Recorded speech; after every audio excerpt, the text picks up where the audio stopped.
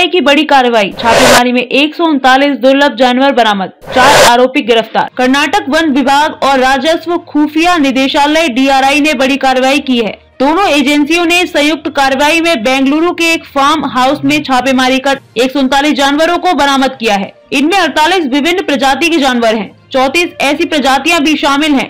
जो वन्य जीवों और वनस्पतियों की लुप्त प्रजातियों के अंतर्राष्ट्रीय व्यापार में कन्वेंशन सिटेज के तहत सूचीबद्ध है। एयरपोर्ट पर भी कार्रवाई। डीआरआई ने इस संबंध में एक बयान जारी किया है। बयान में कहा गया है कि एजेंसी को जानवरों की तस्करी की खुफिया सूचना मिली थी। सूचना के आधार पर डीआरआई अधिकारियों ने 22 जनवरी को कैंपे गोला अंतर्राष्ट्रीय एयरपोर्ट पर बैंकॉक से आए एक महिला के अलावा तीन यात्रियों को रोका है। बैंकॉक के यात्रियों से अठारह विदेशी जानवर बरामद। बयान में कहा गया कि चेक इन के दौरान जाँच की गई तो 18 विदेशी जानवरों, चार प्राइमेट और 14 सरीसृप को बरामद किया गया। इनमें से 10 जानवर सिटेज लिस्ट में शामिल हैं। वन्यजीव संरक्षण अधिनियम उन्नीस सौ बहत्तर में ऐसे जानवरों का आयात प्रतिबंधित है। डीआरआई अधिकारियों ने आरोपी यात्रियों को सीमा शुल्क अधिनियम उन्नीस सौ बासठ के प्रावधानों के तहत गिरफ़्तार किया। डीआरआई ने बताया कि आरोपियों ने वन्यजीव के आयात के वैध दस्तावेज़ पेश नहीं किए। बयान में कहा गया कि आरोपी व्हाट्सएप और अन्य सोशल मीडिया प्लेटफॉर्म पर इनकी खरीद फरोख्त करते हैं। इन वन्य जीवों को किया गया बरामद। बरामद किए गए जानवरों में पीले और हरे रंग के एनाकोंडा,